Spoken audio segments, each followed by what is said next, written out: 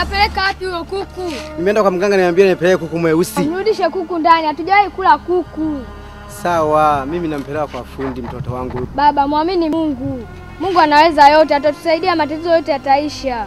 Tangu umepeleka kuku kule, umepeleka kuku wangapi? Hatujaona mafanikio yoyote. Rudisha kuku huyo na si tule. Rudisha kuku huyo.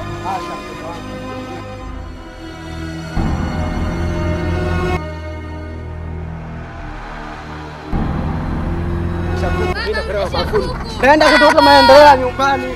Baba!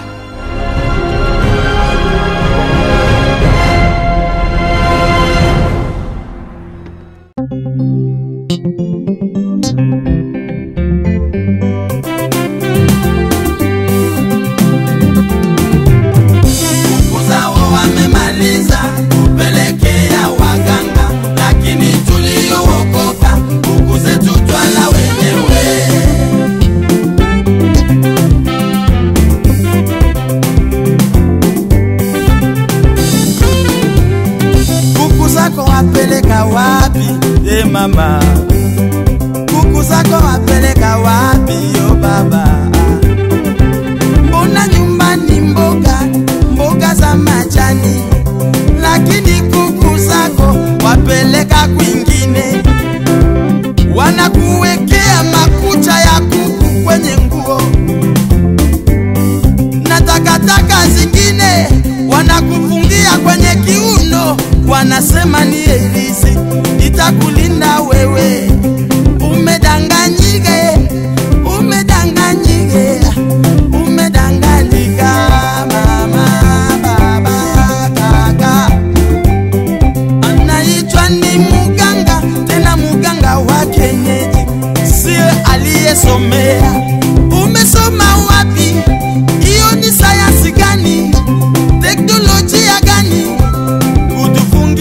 takataka viunoni, yeah.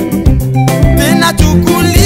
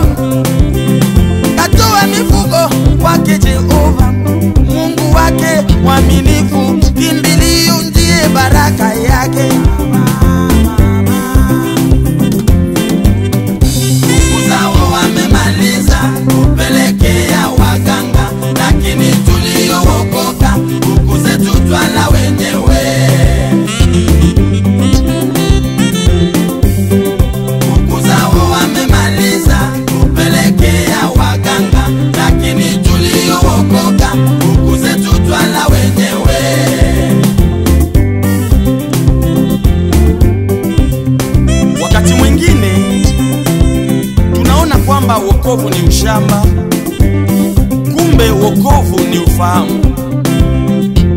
Naweza kushangaa wakati umeenda shule vizuri, lakini elimu yako pasipo Yesu unaleta mambo mengine ya ajabu, na elimu zako unaenda kwa mganga wa kenyeji umeacha nyumba yako, ametandika ngozi ya mnyama, unakaa hapo unalala, na nyumbani kwako unaacha kitanda elimu yako haikusaidii. Wanachukua kuku, wanakula, wanachukua makucha, wanafunga kiunoni mwako. Je, makucha ya kuku inaweza ikakulinda wewe? Mbona Yesu ni mlinzi? Haujajua kwamba anakulinda asubuhi hata jioni na usiku?